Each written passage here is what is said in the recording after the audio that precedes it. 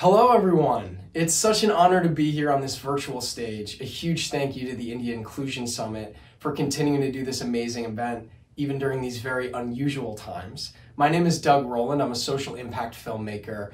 I made the first film to star a deafblind actor, and I want to tell you a little bit today about what I've learned along my journey. I'm going to take you back nine years. We're in New York City. I was coming home late one night in the East Village, and I saw a man standing alone on a street corner holding a sign that said, I'm deaf and blind and need help crossing the street. I, I remember my first thought being when I saw him, I thought to myself, wow, this is the first deaf-blind person I've ever met, and I've hardly ever even thought about this community. I tapped him, he pulled out a notepad and wrote that he needed a bus stop nearby. I took him over there and realized that another bus wasn't coming for over an hour. So I wanted to sit and wait with him, but I didn't know how to communicate with him. So I just kind of instinctively took his hand and started tracing one letter at a time on his palm. It worked, he understood me. And over the next hour, we had a whole conversation that way of him writing to me in his notepad, me writing back one letter at a time on his palm. And, you know, I got to know this man, Artemio, as this charismatic, funny, warm hearted guy who I felt like I had really made a connection with to the point where when his bus came, we were giving each other a big hug goodbye, and you know, I, I started tearing up a little bit, thinking I'm gonna miss my new friend who I'm never gonna see again. And this experience stayed with me for a really long time. And in looking back on it, I think the most resonant aspect of this experience was that in one interaction, I had gone from seeing this man Artemio as his disability to seeing him as a friend. And it was a real light bulb moment for me. And it was actually the inspiration behind the film Feeling Through that I ended up creating that was heavily inspired by this encounter. And it was a film that I wrote shortly after this encounter, but it lived on my computer for many years because I didn't feel like I was quite ready to make it yet. But years later, when I got that gut feeling that now is the time, I instinctively knew that I wanted to make it alongside the community. And it, I ended up reaching out to and ultimately partnering with the Helen Keller National Center to make it. And what was so great about working with them is that, you know, I, I live in LA, um, they're based in New York and Long Island, and I was routinely traveling to their headquarters in Port Washington, Long Island, to get to meet with a lot of people in the deafblind community, um, get to meet with a lot of the staff that worked there, that worked with the community every day, and really get this masterclass education in the community, but moreover, form a really personal relationship with the community myself. But it was also great to work with the Helen Keller National Center because I knew from the start of this process that I wanted to cast a deafblind actor, and they helped me do that. So they ended up reaching out to deafblind people all across the country um, as possible uh, actors for this role named Artie, who is obviously very inspired by Artemio. And funny story about that is that Robert Tarango, who we ended up casting, was not on our initial casting list. He actually worked in the cafeteria at Helen Keller National Center, and we were midway through one of our days of casting one day. We had a break in the schedule, and, and someone in the room goes, Hey, what about Robert? So before Robert knows it, he's being pulled out of the kitchen and walking into this audition room for a film that he doesn't know exists. And it was one of those moments where the moment he walked in, he had this light and this charisma that I just instantly knew he was our guy. So now we have our deafblind actor, and what was again great about working with HKNC is that they provided an amazing interpreting team to facilitate communication between Robert and I throughout the process. And you know, during this process, we found out that Robert is the first deafblind actor ever to star in a film. And it's not just the deaf-blind community, but many disability communities that are extremely underrepresented in film and TV. Something like less than 5% of the roles that we see in film and, t- and TV shows are characters that are portrayed with having a disability. And of that percentage, so few are played by actors with disabilities. And I think one of the reasons that's the case is because I think there's a lot of people who assume, oh, it's, just not going to be worth the trouble to go and get an actor with a disability. It, it's just too much trouble. But accommodations are made for actors all the time. So why not make accommodations for actors with disabilities? And it was really, not only was it quite simple once we had an interpreting team, but the film would not be what it is without Robert, without someone who has lived that experience of being a deafblind person and hearing directly from his voice and him being able to share that in an authentic way that really couldn't be re- reproduced in any other way. Um, what was really amazing about making the film was we also documented the whole process. So we were simultaneously shooting this documentary where we were following the process of casting and working with Robert, but we were also following along with our year long search to track down Artemio, the man who had inspired all of this. So that by the time it came to exhibit the film, we exhibit we were exhibiting it as this three-part fully accessible screening event called the Feeling Through Experience, which included part one, Feeling Through, the, the first film to star a uh, deafblind actor Robert Tarango, part two, our supporting documentary Connecting the Dots, which follows working with Robert and also our search for Artemio, and part three was this panel discussion and Q&A with the deafblind community, which is always different um, wherever we're screening the film, so that we also have an opportunity to highlight so many other great voices in the deafblind community and have our audiences get to hear directly from the community. So before I say anything else, let's take a quick look at the trailer.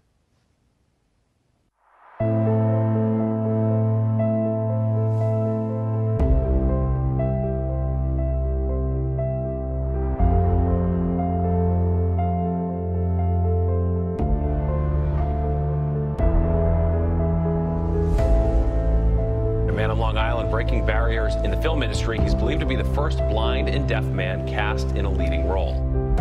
It doesn't matter if I'm deaf and legally blind. I still felt like I could do it. The Helen Keller National Center says its goal this year is to provide accessibility for all.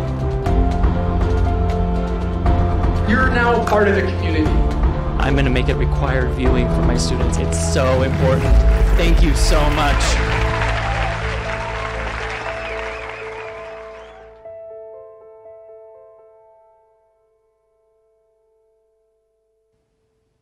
So as you can see from that trailer, you get to see some moments of the film and some of the impact we've had on audiences, but you also get to see some clips of what a fully accessible screening looks like. And let me walk through the elements of accessibility that we brought to this screening event because you might not be familiar with some of them.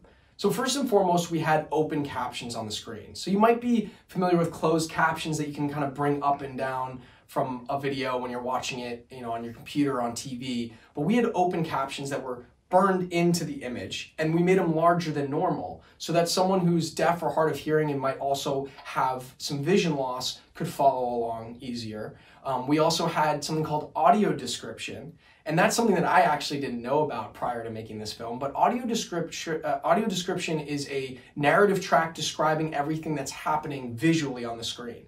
So you can imagine that if you were blind or low vision, anything that's not dialogue you might have trouble following along with. So this is a narrative track that describes all the action that's happening on the screen so that you can follow along and, and you know experience the whole story. And we also had as many as 50 interpreters and support staff at a single screening to provide that one-to-one accessibility. So that meant tactile interpreters for people who are deaf, blind, and communi communicate tactily. We had stage interpreters for deaf and hard of hearing participants, and some accessibility elements to and from the theater. And you know, we knew right off the bat it was so important to, to make this experience accessible to the very community that was at the heart of it.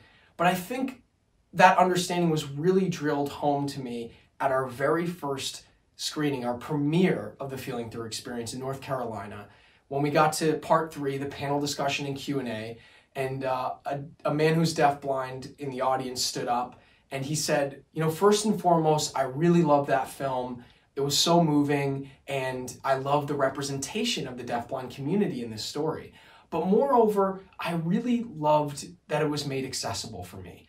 And he, he continued and said, You know, a lot of times people think because I'm deafblind, I wouldn't care to go to the movies.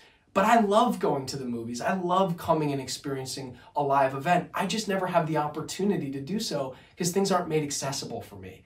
So I think it was in that moment, he, one of the first people to speak at our very first screening really drilled home in a much deeper way for me why it was so important to provide this accessibility and, and why it's important for, for more people to do so in more spaces.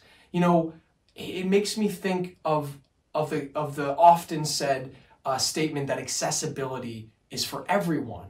And, and to me, that's a really multi layered statement. But I think it, at the highest level, what it means to me is that in a world where we all have access to the things that we want and need, each one of us individually is better off, and therefore we're all better off as a society.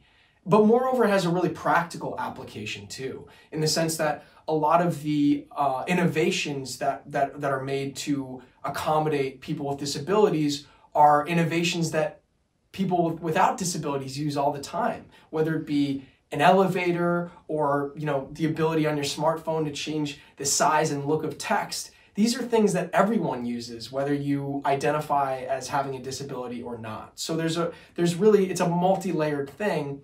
And you know moreover than the accessibility at the feeling through experience we were bringing communities together that wouldn't normally have a shared experience. And that was very much inspired by you know, my meeting with Artemio nine years ago, where as a full grown adult, I'm realizing that I'm interacting with and, and learning from someone who's deafblind for the very first time in my life. And I thought, how could we create experiences where more people like me, who knew very little of the deafblind community and maybe didn't have any opportunity to interact with that community, could enjoy an experience side by side and have this collective experience? Because I think at the end of the day, there's no better way to connect with you know a, person or a community that you don't know that well then having a shared experience with them and having a space where you can dialogue with them and ask questions and, and really learn from each other. And you know we found that not only was this a really um, amazing experience for people who are deaf blind to have this story that represented them on the screen but we heard from so many people who went into this experience having never met anyone who was deaf blind who knew nothing of the community coming out saying that it was life changing for them, that they, they now felt like they had a really heartfelt connection to this community. And, you know, I knew none of this nine years ago when prior to meeting Artemio. I was gifted with this chance encounter with him that led to this story that we've been able to share with a lot of people. But I've learned along the way that it's it's so important for everyone to understand accessibility and inclusion, even if it's not something that you feel like necessarily affects you on a moment to moment basis, it actually does. And your awareness of it helps make the world better for everyone.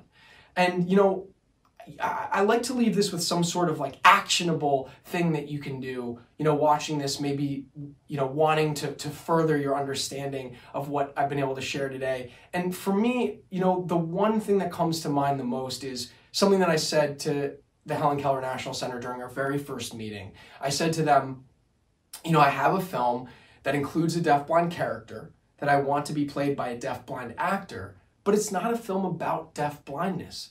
It's a film about human connection. And more, more specifically, the power of human connection despite our differences. And, you know, if there's one thing that I've learned over the course of the last nine years, it's this something really simple. And it's that people who are deafblind and people with disabilities are people just like anyone else. And I know that sounds like incredibly simplistic, but to be honest, for me, that was something that I only understood intellectually before really engaging with the community, connecting with the community, having a lot of people who I call close friends of mine who are in the deafblind community now and, and, and other uh, parts of the disability community. And so if there's one thing that I ask of you today, um, and again, many of you already know this, but for those who maybe this is kind of an, uh, an aha moment for you, like it was for me nine years ago, is to really, anytime that you are engaging with or thinking about the disability community, understand first and foremost that they're people like anyone else and, and engage from that space. Because if you do that, honestly, you're, you're going to be putting your best foot forward and, and you're going to be you're going to be interacting in a way and, and and deal and, and connecting with the community in the most important way. Um, and and that's something that really you can take home and hopefully share with with some that understanding with someone else today would be also another actionable item that I could give you to do. But um, once again you know it's really an honor to speak here at the India Inclusion Summit and uh, it's an honor to get to address all of you today. Thank you so much and uh, to a successful India Inclusion Summit 2020